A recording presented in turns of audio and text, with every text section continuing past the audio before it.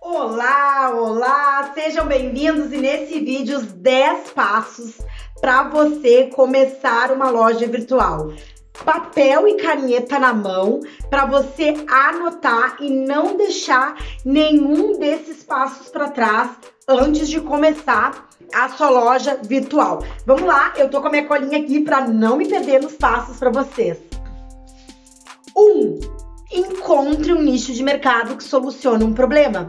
Eu venho falando nos meus últimos vídeos aqui da importância de desde o início você pensar na sua loja de dropshipping como uma loja sólida, uma loja de marca que traga um potencial até de talvez uma venda posterior no futuro.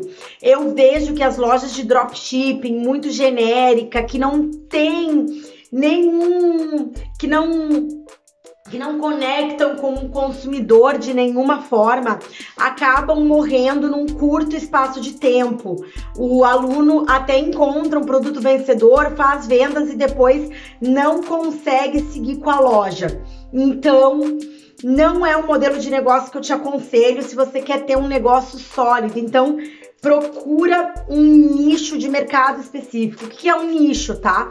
Pode ser pet, pode ser automóveis, Pode ser maquiagem, pode ser roupa masculina, pode ser roupa feminina, pode ser roupa evangélica, pode ser hum, produtos de suplemento. Existem zilhões de nichos, você precisa encontrar o seu. E como que você vai encontrar o seu? A gente vem para o ponto número dois, que é valide a sua ideia de mercado, né? Para você ter certeza que aquele nicho faz sentido para você, eu quero que você pense uh, se você entende sobre esse nicho. Vou explicar para vocês. Por exemplo, eu, Michele, não teria uma loja no nicho masculino, por exemplo, de produtos de barbearia. Não é um assunto que eu entendo muito. Eu teria dificuldade de me conectar com o meu avatar e produzir conteúdo para as redes sociais então, não seria muito legal nesse sentido, a não ser que eu tivesse alguém que conhecesse muito, muito sobre esse assunto comigo, tá? Então, muito importante você validar se você conhece, se esse nicho realmente faz sentido. Às vezes os alunos vêm com um nicho completamente específico que não tem muito mercado, então isso é complicado. Por exemplo, o que é um nicho bem específico que você tem que conhecer bastante? Existe uma loja na internet, por exemplo, que só vende produtos para pet, para donos de pug. Né? Então é muito específico, é, mas toca no coração de quem é dono dessa raça. Mas para isso eu tenho que conhecer sobre a raça. Eu provavelmente tenho que ter um cachorro, ele vai ser o mascote da minha loja na rede social. Gente, tem que ser desse jeito. Você tem que se conectar com a pessoa, o seu potencial cliente, tá? E aí a gente vem pro ponto 3, que é você entender quem é o seu potencial cliente, quem é a sua persona, quem está lá do outro lado e é o potencial cliente que vai comprar da sua loja. Então, por exemplo, o que, que você vai pensar? onde que essa pessoa está, onde é que ela navega na internet, qual a idade, qual a condição financeira, o que que ela faz, que livros ela lê, o que que ela gosta, quais são os hobbies, o que que ela, o que que dá prazer para ela. Agora muito importante, mais importante que isso tudo são as dores. O que deixa ela sem sono de noite. As pessoas compram muito mais pela dor do que pelo prazer. Então, se você souber pegar na ferida da pessoa, você vai vender muito mais, tá? Bom, antes de eu ir pro ponto 5, deixa eu ver aqui, não, pro ponto 4, desculpa, eu quero te convidar para fazer parte do nosso canal do Telegram, que tem conteúdos como esse ou diversos outros, tá? É uma enciclopédia do e-commerce, o nosso canal do Telegram. Então, quero te convidar, o link tá aqui embaixo, clica lá, participa, imprime o conteúdo, você vai amar, não vai se arrepender, eu tenho certeza, fica o convite. Outra coisa é dar um joinha aqui nesse vídeo, me ajuda se você tá gostando do conteúdo. Se não tá gostando também, dá um dislike, faz alguma coisa aí, porque o importante é você interagir aqui com a gente. Balança esse sininho, já se inscreve para você não perder mais nenhum conteúdo que eu trago aqui. Então vamos lá. Daí, gente, o número 4, depois que você definiu tudo isso, você vai definir o seu logo e paleta de cores, tá? Você já sabe que tipo de produtos você vai vender, você já sabe quem é a sua persona, então, tendo uma ideia da sua persona, você já sabe o tipo de cor que você vai trabalhar, já pode criar um logo mais específico para esse público que você vai atingir, tá? E aí, número 5, tá? comece a crescer a sua audiência. Já cria o Instagram e começa a produzir conteúdo para esse público. Mas, Michelle, não tem nem produto, não tenho nem loja. Não tem problema. Vai e começa já a crescer sua audiência. Pesquisar as hashtags. Um seguidor, dois seguidores, dez seguidores. É aos poucos que você vai construindo uma audiência. Mas começa. O importante é meter a mão na massa e fazer o que tem que ser feito, tá? Muito, muito importante. Então, comece o seu Instagram hoje mesmo e vai atrás dos seus potenciais clientes, tá? Número 6. Procure um fornecedor de dropshipping que seja nacional ou internacional, tá? Se você for procurar um fornecedor internacional, tem alguns vídeos aqui no nosso canal onde o Wesley explica como que você avalia se um fornecedor ele é uh, interessante, se ele realmente entrega ou não, se ele é antigo lá no AliExpress, então precisa dar uma procurada aqui no canal nesses vídeos que vão te ajudar. E no caso dos fornecedores nacionais, gente, não tem melhor ou pior. Os dois caminhos têm vantagens e desvantagens. Eu vou deixar um link aqui do vídeo. Eu vou deixar um link aqui nesse vídeo das vantagens e desvantagens do dropshipping. O importante é que você, ok, escolha um deles ou até use os dois juntos. Aqui a gente trabalhando, tá tra pensando sem estoque. Eu tô gostando muito dos alunos que estão misturando drop nacional com internacional, tá?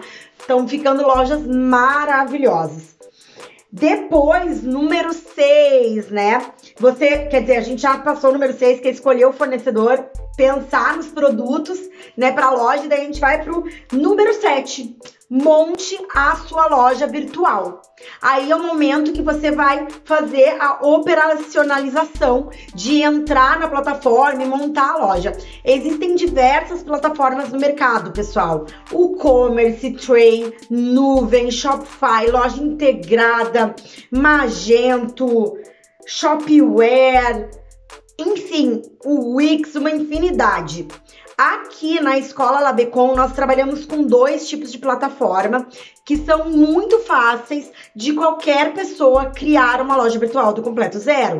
A Shopify e a Nuvem Shopping. O link das duas vão estar aqui na descrição do vídeo. Mas aí fica um convite para você. Se você não sabe como montar uma loja virtual, tá procurando conhecimento, a gente tem todos os meses quase a semana do e-commerce, que são quatro aulas gratuitas onde eu e o Wesley vamos te ensinar um passo a passo para você montar a sua loja virtual do completo zero tá bom? Então, clica aqui no link, se inscreve, que você não vai se arrepender. Aulas muito interessantes e completas para você montar o seu negócio.